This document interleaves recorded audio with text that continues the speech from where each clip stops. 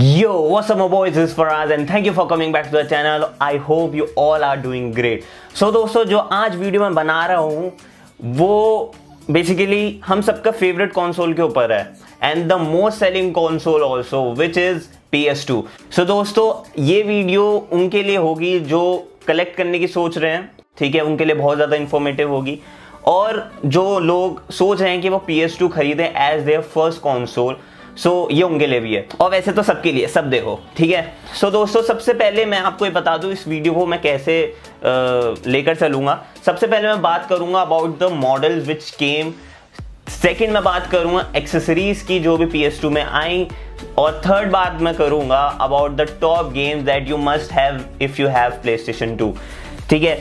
So let's get started so दोस्तों, जो first play station to आया था, उसका नाम था पी एस टू फैट और ये लॉन्च हुआ था fourth March two thousand in Japan it's been nineteen years now दोस्तों प्ले स्टेशन टू फैट अगर मैं कहूँ, ये अब तक का सबसे ज़्यादा अगलीस्ट कंसोल रहा है, जितने भी आए हैं। और इसकी जो ट्रे थी, जिसमें हम डिस्क डालते हैं, वो बाहर की तरफ़ आती थी। तो इससे टूटने का डर रहता था प्ले स्टेशन टू फैट का। जैसे आजकल हम क्या डिस्क अंदर डालते हैं और वो प्रोसेस करता है, या पी एस टू स्लिम में आपने देखा होगा, ट्रे ओपन होती थी और हम डिस्क अंदर डालते थे, बट इसमें डिस्क बाहर आती थी। और इसका जो फ़ैन था दोस्तों, जो सिस्टम को कूल करने के लिए जो फ़ैन होता है वो बहुत ज़्यादा बड़ा था और बहुत ज़्यादा लाउड था। बहुत आवाज़ करता था।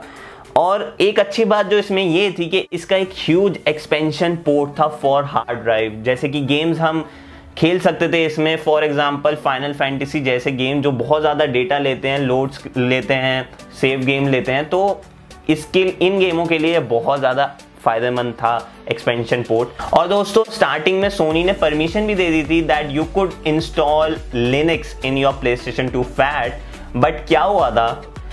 क्योंकि लोग पायरेसी करने लग गए थे गेम्स की, इसलिए उन्होंने ये परमिशन वापस ले ली थी। दोस्तों, एक और कमी थी प्ले स्टेशन टू फैट में कि इसमें कोई नेटवर्क आउटपोर्ट नहीं था। हम अपना ईथरनेट केबल इससे कनेक्ट नहीं कर सकते थे। सो उसके लिए हमें एक नेटवर्क अडेप्टर खरीदना पड़ता था। Then we could play an online game so ये सीन रहा था। और एक और बात थी, जो पी एस टू फैट था, जो हमारी पी एस टू की जो डिस्क आती थी, पहले एक ब्लैक आती थी और एक ब्लू आती थी। तो जो ब्लैक वाली डिस्क थी सारी, वो सारी प्ले स्टेशन टू फैट में चल जाती थी without any compromise but some time जो ब्लू लेयर वाली डिस्क होती थी, वो कभी कभार नहीं चलती थी। और बहुत फनी बात थी कि प्ले स्टेशन टू डिज़ाइन ही अपनी गेम्स खेलने के लिए बनाया गया था और उसमें ही वो गेम्स नहीं चलती थी। प्लस जैसी गॉड ऑफ़ वॉर की ओरिजिनल अगर आप डिस्क देखोगे गॉड ऑफ़ वॉर वन की, वो जो डिस्क होती थी, वो ड्यूल लेयर डिस्क होती थी। ठीक है? और वो भी कभी कभार इस प्ले स्टेशन टू फैट में नहीं चलती थी। सो so, इतनी सारे कॉम्प्रोमाइज करे हमने। Then came PlayStation two slim और वो मेरा फेवरेट कॉन्सोल है। उससे बढ़िया कॉन्सोल आज तक नहीं बना। ज़्यादा बिका भी वही है। उसके यूनिट सबसे ज़्यादा बिके थ्रू आउट द वर्ल्ड ठीक है?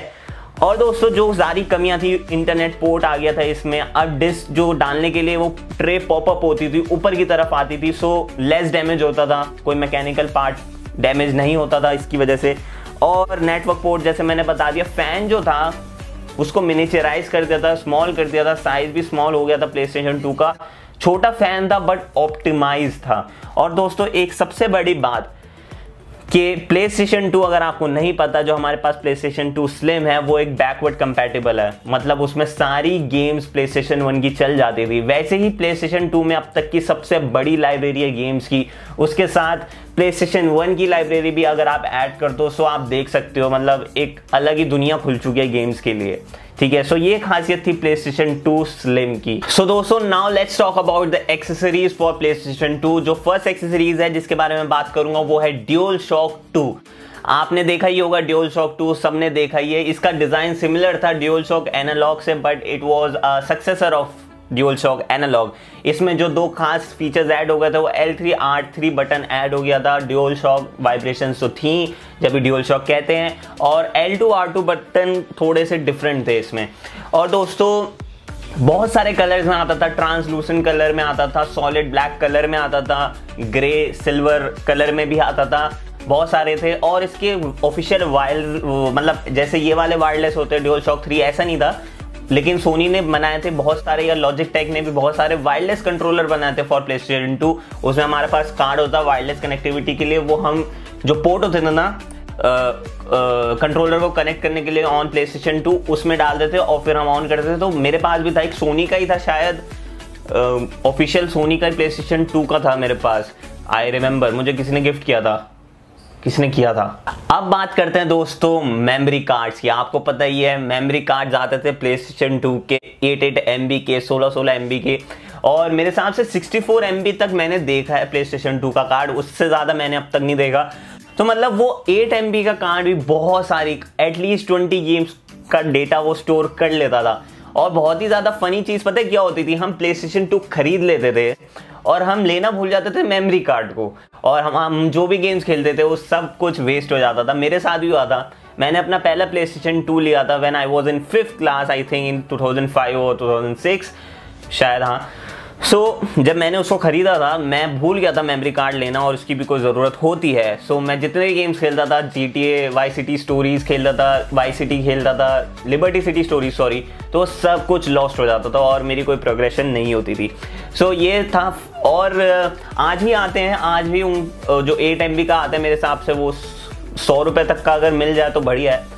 और लेकिन ज़रूरी है लेना। एंड हाँ दोस्तों, जैसे कि मैंने आपको बताया था PlayStation two is a backward compatible device उसमें हम प्ले स्टेशन वन के गेम्स खेल सकते हैं बट अगर आपके पास प्ले स्टेशन वन का मेमोरी कार्ड नहीं है सो आप प्ले स्टेशन टू में पी एस वन का गेम अगर खेल रहे हैं तो आप उसको सेव नहीं कर सकते। So if you want to play a PlayStation one game on your P S two then you have to buy a memory card of PlayStation one so ये चीज़ बहुत लोगों को नहीं पता होती है, मैंने सोचा ज़रूर बताऊँ आप लोगों को।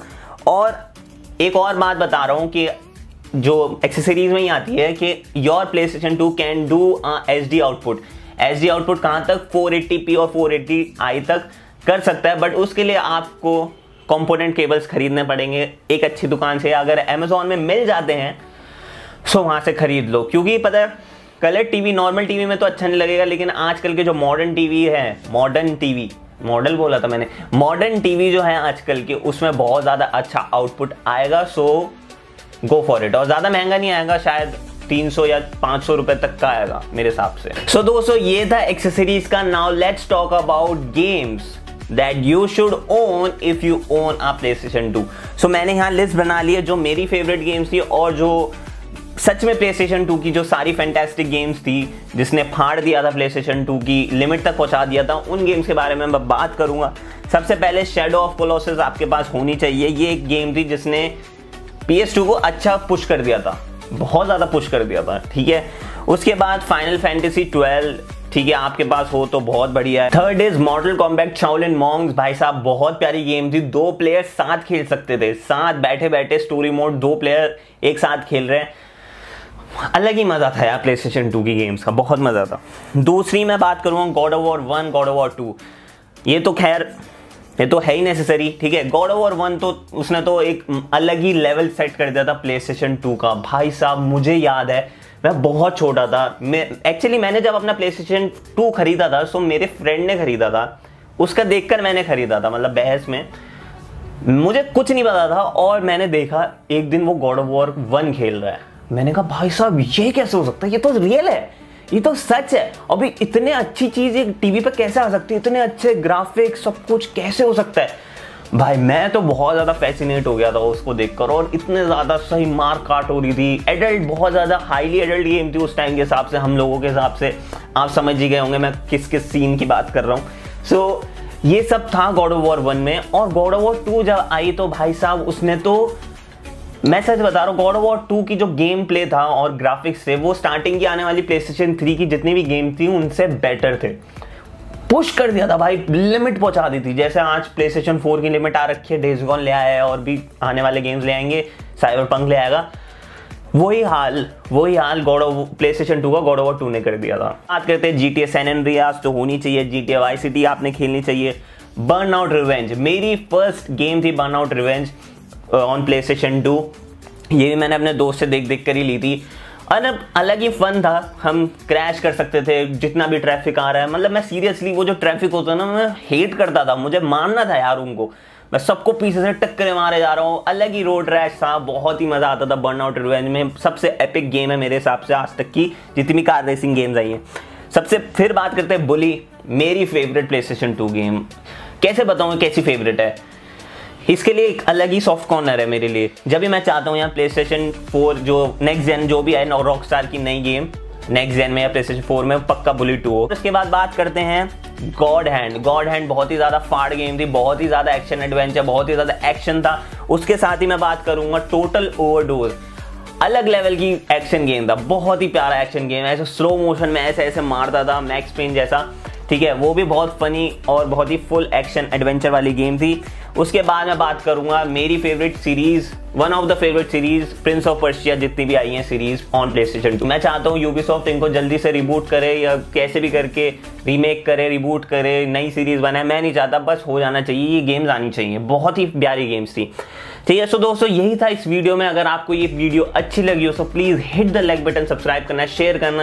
ये एक तरीके की इन्फॉर्मेटिव वीडियो भी हो गई बाइंग गाइड भी हो गई आप लोगों के लिए। और मेरे हिसाब से आपको ये देखकर थोड़ा अच्छा लगा होगा। बड़े बड़े बच्चे फील कर रहे होंगे नॉस्टैल्जिक जैसे कि मैं कर रहा हूँ।